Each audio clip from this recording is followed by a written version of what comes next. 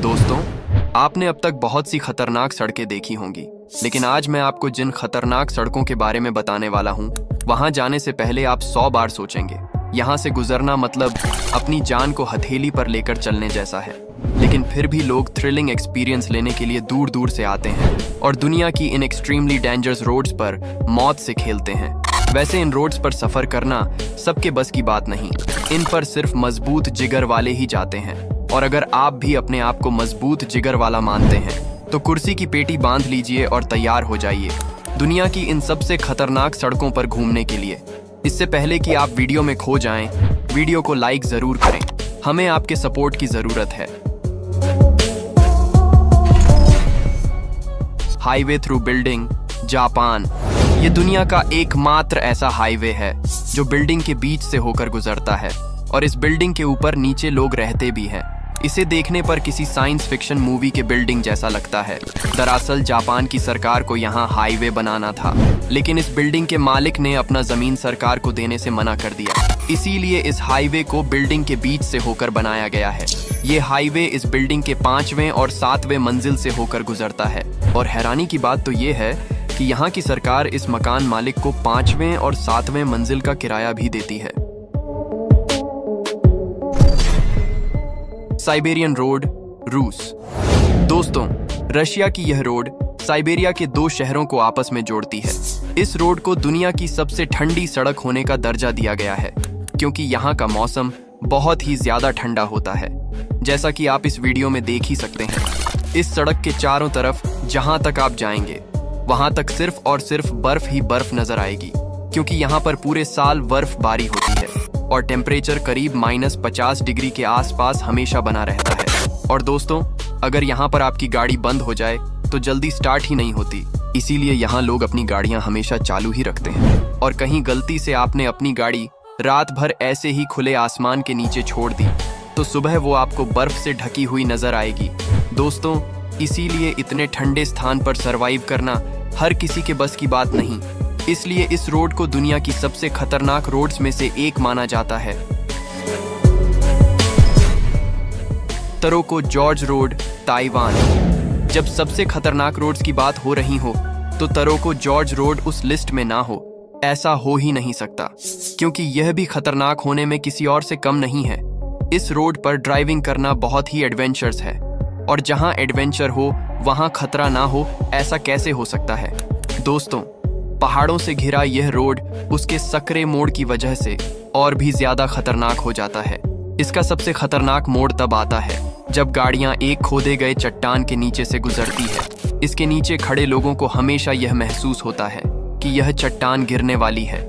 इस रास्ते पर कई जगह ऐसे मोड़ आते हैं, जहाँ पर दूसरी गाड़ी दिखाई भी नहीं देती, जिसकी वजह से गाड़ियाँ एक दूसरे से टकरा जाती हैं। लेकिन फिर भी लोग थ्रिलिंग एक्सपीरियंस लेने के लिए दूर दूर से आते हैं। दोस्तों, वैसे आप ये वीडियो किस स्टेट से देख रहे हैं? हमें कमेंट में ज़रूर बताएँ। Guoliang tunnel road, China. दोस्तों, ये टनल रोड चीन में है, जो दुनिया की सबसे खतरनाक सुरंगों में से एक है। तैहांग पहाड़ियों को बीच से तोड़कर बनाई गई इस गोलियांग टनल का निर्माण 1972 में किया गया था।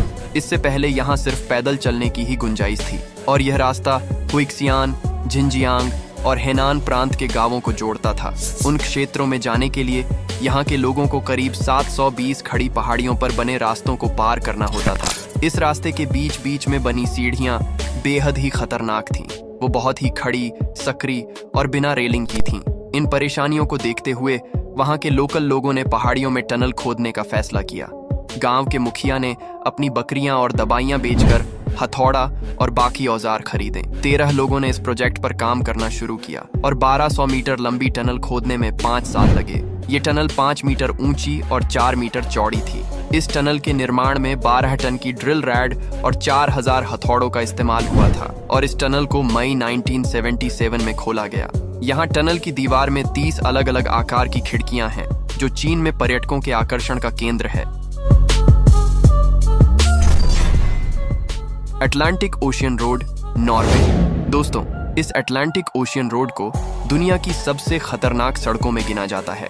आप देख सकते हैं कि किस तरह से इस रोड के दोनों तरफ़ समंदर है और समंदर से उठती तेज लहरें इस सड़क को भिगा दे रही हैं। दोस्तों नॉर्वे में समुद्र के ऊपर बना करीब साढ़े आठ किलोमीटर का यह खतरनाक रोड जुलाई 1989 को चालू किया गया था, जो कि रोड ट्रिप के लिए बेस्ट जगह है। लेकिन यहाँ हर कदम पर खतरा मौजूद है। इसीलिए अगर आप एक ट्रेंड प्रोफेशनल ड्राइवर हैं, तभी यहाँ ड्राइविंग करें, नहीं तो आपकी एक छोटी सी गलती आपको मौत के घाट उतार सकती है। अगर आपकी कार ब्रिज से बाहर गई, समझो आप कार के साथ समुद्र की गहराइयों में नज़र आओगे। पसूबियो रोड, इटली। इटली की ये सबसे खतरनाक सड़क पसूबियो, एक बहुत ही प्राचीन सड़क है। पसूबियो रोड आल्पस के सबसे अविश्वसनीय दृश्यों और बावन हाथ नक्काशीदार सुरंगों के लिए भी दुनिया भर में प्रसिद्ध है। जिनका दृश्य आप रास्ते में सफ़र के दौरान देख सकते हैं। दुनिया की सबसे खतरनाक सड़कों में से एक, इस सड़क को सरकार ने कई मौकों पर बंद करने की कोशिश की। लेकिन ये एक एडवेंचर सफ़र होने के नाते यहाँ लोग पहुँच ही जाते हैं। इस रोड पर ड्राइविंग करने के लिए बहुत ज़्यादा सावधानी की ज़रूरत होती है। यदि ड्राइवर जरा भी लापरवाही करता है तो समझो दुर्घटना घटी और यहाँ बेतुके ढंग से मोटरसाइकिल चलाने वाले इसे और भी खतरनाक बना देते हैं। दोस्तों, अगर इस वीडियो का पार्ट थ्री चाहिए तो कमेंट में पार्ट थ्री लिखकर ज़रूर बताएँ। Skippers Canyon road New Zealand New Zealand की स्किपर्स कैनियन रोड दुनिया की सबसे खतरनाक सड़कों में से एक है। यहाँ पर लाइफ इंश्योरेंस के बिना ड्राइविंग ना ही करें तो बेहतर है। दरअसल, इस सड़क पर हर वो खतरा मौजूद है, जो जानलेवा साबित हो सकता है। यह सड़क बहुत ही ज़्यादा सक्रिय है, जिससे यह सड़क और भी ज़्यादा खतरनाक हो जाती है। कहीं पर अंधे मोड़ है तो कहीं पर गहरी खाई। ऐसे में कोई मामूली एक्सीडेंट से भी बुरी तरह घायल हो सकता है। इस रोड पर कदम कदम पर खतरा है, और ये रोड इतनी सक्रिय है कि इस पर दो गाड़ियाँ एक साथ नहीं जा सकती। ऐसे में किसी एक को अपनी गाड़ी साइड में करना होता है, ताकि दूसरी गाड़ी गुजर सके। ऐसी हालत में एक्सीडेंट के चांसेस और भी ज़्यादा बढ़ जाते हैं। James Dalton highway, Alaska. दुनिया की सबसे खतरनाक सड़कों में से एक है। यूएसए का ये जेम्स डाल्टन हाईवे रोड इस सड़क पर मौसम की मार बहुत ज़्यादा देखने को मिलती है, जिसकी वजह से गाड़ियाँ फिसलती हैं और गाड़ियों के फिसलने से एक्सीडेंट भी होते हैं। 414 मील लंबे इस हाईवे के आसपास सिर्फ़ और सिर्फ़ बर्फ़ ही बर्फ़ मौजूद है। यहाँ तेज हवाएँ और छोटी छोटी चट्टाने आपके वाहनों के मार्ग में बाधा बनती हैं। दोस्तों ये रास्ता बहुत ही सुनसान है। अगर आपको यहाँ कोई इमरजेंसी हो गई तो मदद मिलने में आपको तीन से चार दिन लग सकते हैं। जेम्स डाल्टन हाईवे पर तकरीबन 300 दुर्घटनाएँ प्रतिवर्ष देखने को मिलती है। वैसे तो इन सभी सड़कों पर सफ़र करना बेहद ही चैलेंजिंग टास्क है, लेकिन फिर भी अगर आपसे पूछा जाए कि आप इनमें से कौन सी रोड पर सफ़र करना चाहेंगे तो आपका जवाब क्या होगा?